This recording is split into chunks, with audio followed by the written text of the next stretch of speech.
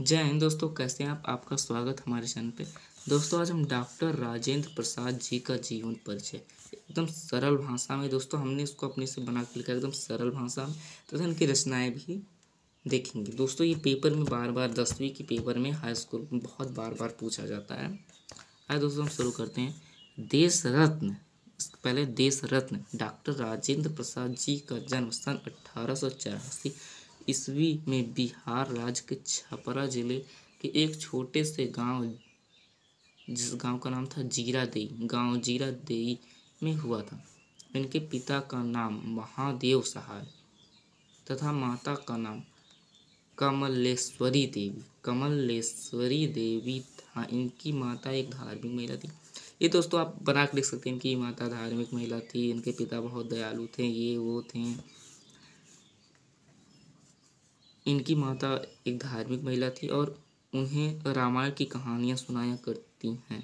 करती थीं करती थीं।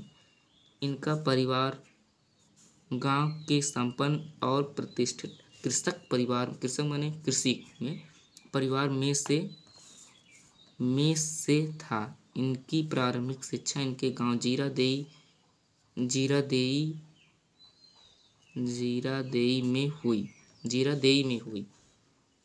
इनकी उच्च शिक्षा के लिए कलकत्ता। अब जो दोस्तों, कोलकाता से जाना जाता पहले कलकत्ता था। कोलकाता। कोलकाता विश्वविद्यालय से इन्होंने एमए की परीक्षा उत्तीर्ण की। मुजफ्फरपुर में एक कॉलेज में अध्यापन कार्य करने के पश्चात पटना और कोलकाता हाईकोर्ट से वकील भी रहे।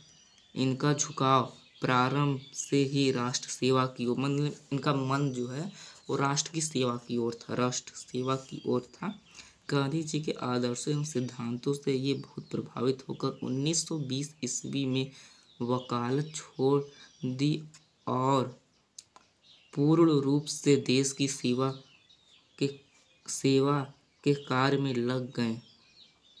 और ये भारतीय राष्ट्रीय कांग्रेस के ये तीन बार सभापति चुने गए। सन उन्नीस सौ बासठ। सन उन्नीस सौ बासठ ईस्वी तक भारत गणराज्य के ये राष्ट्रपति रहे। सन उन्नीस सौ बासठ, ये भी बासठ, ये भी बासठ ईस्वी में इन्हें भारत की सर्वोच्च उपाधि भारत रत्न से अलंकृत किया गया। डॉक्टर राजेंद्र प्रसाद की मृत्यु 28 फरवरी सन उन्नीस ईस्वी को हो गई या हो गई, को हुई।